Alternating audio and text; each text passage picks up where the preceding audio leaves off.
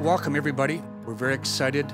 We have obtained an elite player in the league. On behalf of the Dallas Stars, I'd like to welcome uh, Jason Spezza. I think there's uh, you know, a lot of positives to this move for me. I think that uh, first and foremost, I think it gives me a chance to, to compete for the Stanley Cup, and that's uh, at this point in my career is all I'm really looking for.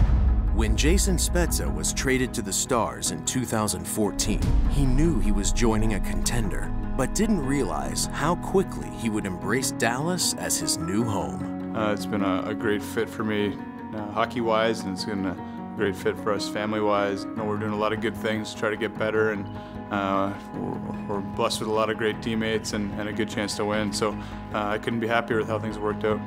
Since his arrival in Dallas, Spezza has been instrumental in helping Jamie Benn develop into his role as captain. It's been unbelievable for myself to, to be able to lean on um, you know an experienced uh, ex-captain like like Jason. And I'm still going to him for, for advice on situations and um, you know what to do. So he's been a, an amazing teammate, amazing friend.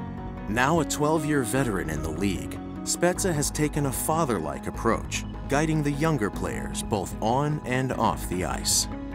Well, for me, Jason Spezza was one of the big reasons I felt welcomed in this team when I got the call up. He's taking so much pride in taking care of the younger guys. I think it's it's my job to, to be a good example for guys, to be someone that guys can lean on and ask questions to. I try to be someone that can kind of have a pulse of what's going on in the dressing room and help guys out when they need help. His leadership is, uh, is super valuable for our team.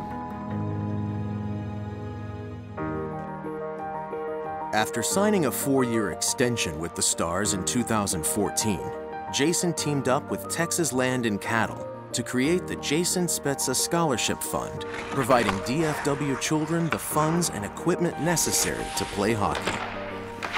I think when I first came to Dallas, I wanted to you know, get myself and my family comfortable, but you know, once you get a few months in, you, you, you know, we re-signed here and we wanted to stay. Uh, I started talking with my wife and the foundation about kind of what we wanted to do and uh, kind of reach out to the community a little bit. Uh, the scholarship fund's been something that has been a work in progress and to have Texas Land and Cattle come and, and support it uh, you know, kind of helps, you know, really get it off the ground and make it a success and to meet the kids and, and see who's benefiting from it, uh, you know, makes all the work worthwhile. I am pleased to inform you that you have been selected by the Dallas Stars Foundation to receive the Jason's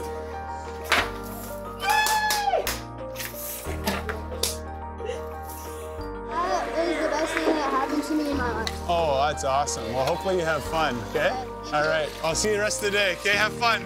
You know, hockey's brought a lot of joy to my life, and I'm happy to be able to help share that, and hopefully kids can, can get the same excitement and joy out of the game that I got.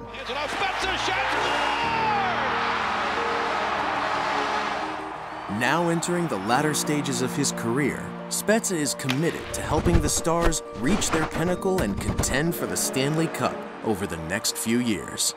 You know, it's important for me to make sure that I'm, I'm getting the most out of my minutes and, and making sure that I'm, I'm playing the right way and helping us win hockey games. Uh, we're under full understanding that we have a good team here and that we have an opportunity to do good things.